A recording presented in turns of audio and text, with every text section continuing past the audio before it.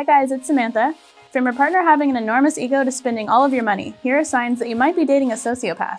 Number 15. Huge ego. One of the most telltale signs that you're dating a sociopath is their ego. If they have an incredible opinion of themselves, then there's a chance that they have this personality disorder. They'll often come up with several things to make them appear extraordinary. A sociopath will talk about their successes, significant plans that they have for their careers, and various other things they've done in the past that will put you in a state of awe. However, many times these things are severely exaggerated or outright lies. They're basically selling themselves to you, similarly to how you amplify your skills on a resume to get a job. But despite the probability that many things they say are false, they could believe the lies themselves. They've convinced themselves themselves that they're some sort of majestic human being, and nothing you say can change that opinion. Number 14, liar. We just touched on the fact that sociopaths lie about things to make themselves look better, but they don't only lie about that. They tell falsehoods about almost everything. Sometimes they might not even have a reason to do so. The vast majority of people feel guilty about saying things that aren't true, especially to people they love. But sociopaths thrive off of this. They don't like telling the truth, and lying keeps them safe from people finding out the kind of person that they are. However, in rare situations, a person with this personality personality disorder will be honest. This usually only happens if they think they're on the verge of losing you. They will profusely apologize with the goal of regaining your trust. By doing this, they can continue to manipulate you. Number 13, not empathetic. Considering their ability to lie without guilt, you probably already guessed that sociopaths are not empathetic. They are unable to identify with their feelings, thoughts, or emotions. They are only ever truly focused on themselves and can't understand where you're coming from. Plus, they don't really care. So, if you've noticed that your partner doesn't seem to take your thoughts into consideration and continues to do so, then you might be dating a sociopath. Signs of this could be refusing to comfort you if you're crying, not asking about how you're doing, or only ever talking about themselves. Number 12, manipulative. It shouldn't be surprising at this point that sociopaths are also very manipulative.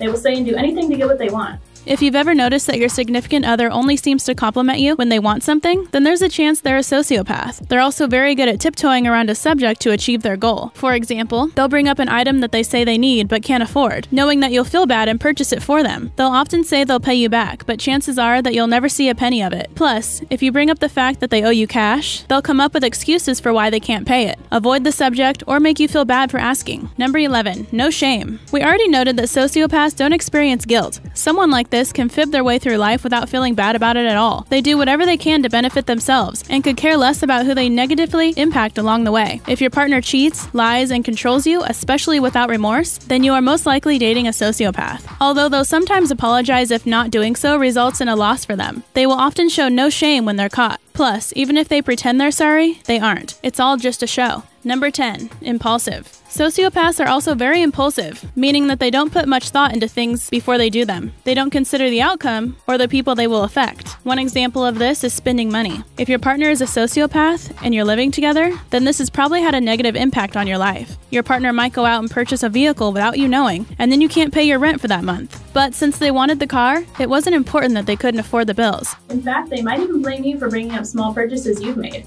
Keep in mind, however, not all impulsive buyers are sociopaths and vice versa.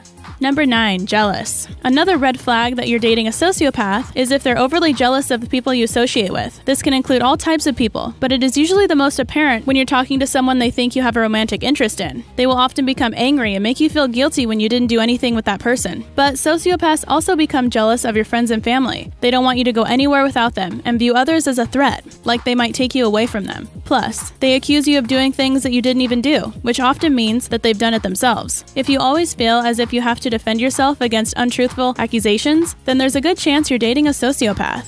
Number 8, fearless. Since they don't have the same feelings, emotions, and judgment as other people, sociopaths often seem fearless. They aren't scared to do things that others would find terrifying or dangerous. People with this disorder will exhibit risky behavior without considering the possible consequences. This could be because they don't experience emotions like normal people and want to feel something like adrenaline. So they'll do things that most people try to avoid. For example, they'll drive extremely fast, weaving in and out of traffic, driving in the shoulder, and doing other unsafe things. They'll even do this when you're in the car with them because they don't really care about your safety.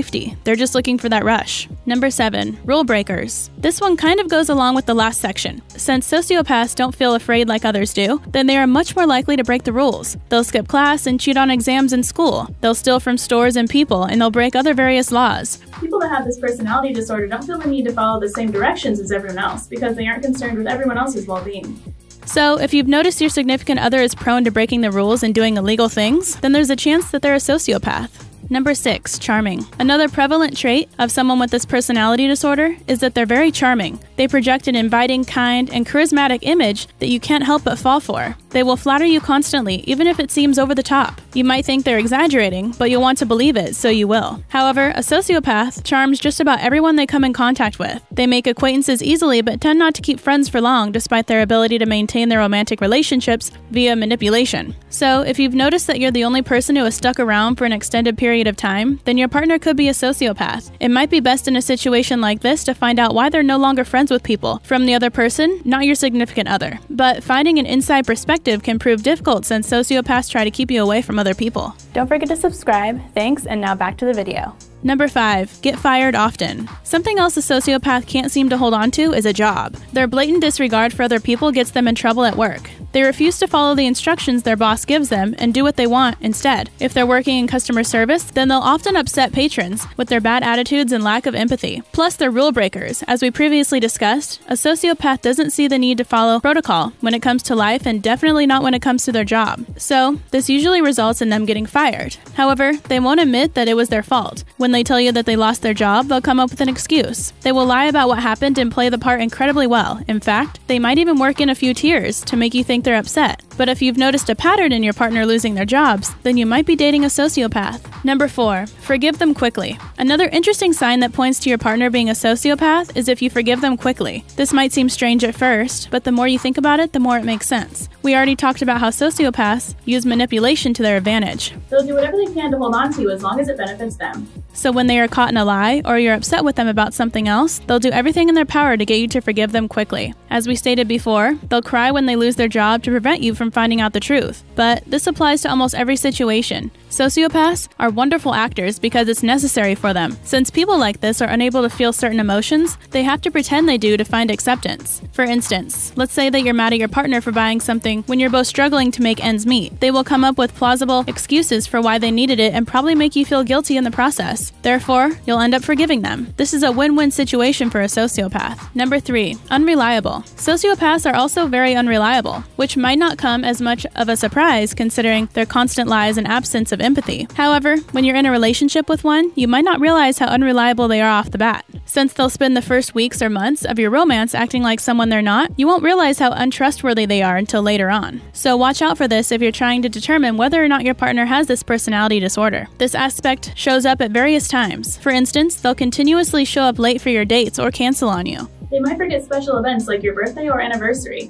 You also won't be able to count on them for simple tasks like cleaning, grocery shopping, or doing laundry. However, they'll reassure you all the time that they're going to change and work harder, but they won't. They don't care enough about your feelings to fix things. Number two, blame others. One thing that is a complete giveaway for a sociopath is how they always blame other people for their wrongdoings. There isn't a time, besides when they're giving a desperate apology, that they'll admit they're wrong. Like we discussed in the section about getting fired from jobs, they refuse to say it was their fault. If there's something else they can blame it on, then they will. Even if there isn't anything truthful to go off of, they'll make up a complete lie to avoid taking responsibility. Sociopaths are also wonderful at turning every situation around on you. If you bring up something that they did, then they'll automatically make you feel bad or accuse you for their actions. For instance, let's say your partner broke something of yours and you're upset about it. You decide to confront them because it was very important to you. But when you do, instead of apologizing for what they did and admitting the accident, they make it seem like it was your fault. They might say something like, Well, if you wouldn't have put it there, then I wouldn't have knocked it over. Your stuff is always in the way. This is a glaring sign that the person you're dating is a sociopath. Most people would feel awful for breaking something that they know you loved, but sociopaths are only worried about making themselves look like the victim in any situation. Number 1. Isolates you. Perhaps the most frightening sign that you're dating a sociopath is if they isolated you.